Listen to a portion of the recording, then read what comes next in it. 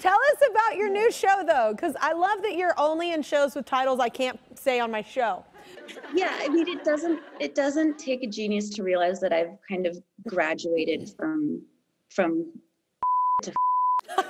um, so my new show, which I'm so proud of, is called Kevin Can Himself, and you know how many sitcoms are about this kind of schlubby, beer drinking, sports loving dude. Yes.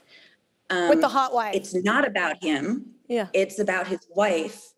And his wife is tired of being the butt of jokes and the server of sandwiches. And she's really mad and she's really frustrated.